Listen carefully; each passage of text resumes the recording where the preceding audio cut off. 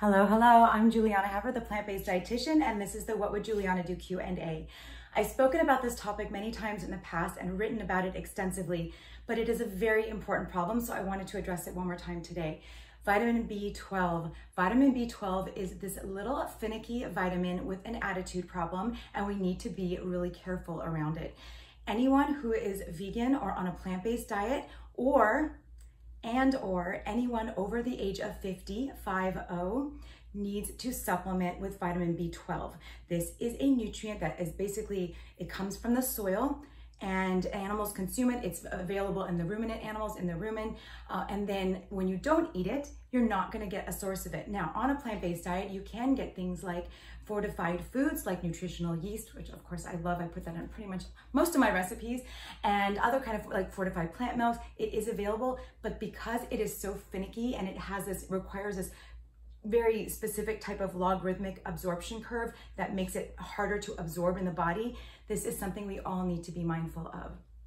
So what does that mean? That means avoiding, you know, not focusing on the fortified foods, instead focusing on getting a supplement because that we know exactly the numbers that are optimal for absorption. So there are three ways you can supplement with B12. One way is if you like to take pills more frequently, you can do 50 micrograms twice a day, or you can do 150 micrograms one time a day. The easiest, least pill option would be to take a big supplement or a, larger dose of 2,500 micrograms a week, so a weekly dose. Sometimes I've read 2,000, sometimes 2,500. Um, I think both of those are okay. So that is really, really important. Just make sure you're covering your bases. The reason I'm so concerned about this is because a lot of people think, oh, I'm getting plenty of it. And this is actually, it's shown up in a client before because she didn't like to take her medicine. I'm now concerned that's happening with my daughter who will not take her, I mean, supplements. My daughter will not take her supplements. I'm actually taking her to the doctor because this is what I suspect is happening. Here's the problem. B12 is so interesting. You can't necessarily test very accurate, accurately for it. Also, it will be in your bloodstream. It'll stay there after you've consumed it for a long time. Like when it comes from animal products, you've been eating that. You may not show um, a deficiency for years and years to come. However, unfortunately, it will show up as neurological issues with symptoms later down the line. And the problem is that these can be irreversible. I'm so concerned that people don't take this seriously enough. So please take your B12. I don't want you to have irreversible neurological problems for life. That would be very like just something you could it's so solvable and easy to fix that that's why I am out there telling people please take your B12. Now, there's some people that also think, "Oh, I'm going to take spirulina or this other these other analogs of B12." No, because what happens is those block the receptors of for vitamin B12 in the body and you actually won't even absorb the active B12. So that is not an option. I don't recommend that food or those products mostly at all because of this reason.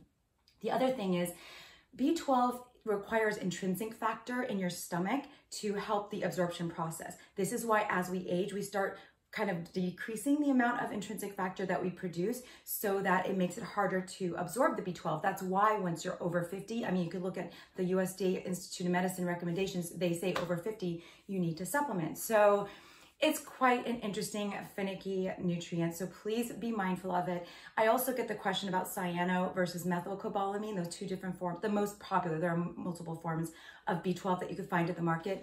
I recommend cyanocobalamin for most people because it is available, it's easy to find. It is also, it's been tested and it's shelf stable, it's very stable.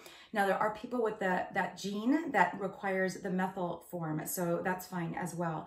But just take your B12, I'm begging you. It doesn't matter, you can get your labs drawn and you would you would ask for an MMA, a methylmalonic acid test to know your more of your B12 status, because if you actually look at the B12 status, it's not a very accurate indicator. Very complicated vitamin. I have all this information for free on my website, plantbaseddietitian.com. I have it in my papers. All of my five books that I've written thus far talk about this because it is that important. The other thing to, I should just tune in is that it's a water soluble nutrient, so you're not going to overdose. I don't even think there are reported cases of an overdose of B12. But again, you want to stick to those parameters, the 50 twice a day, the 150 once a day, or the 2500 once a week because of the way it absorbs. That's, that's really important. So you know, don't worry about overdoing it, but those are the, the ways to focus on it. Okay, so I hope that helps. Please leave your questions and comments below and via direct message or meet me at my website, plantbaseddietitian.com. Thank you so much for joining me, and I'll see you next time.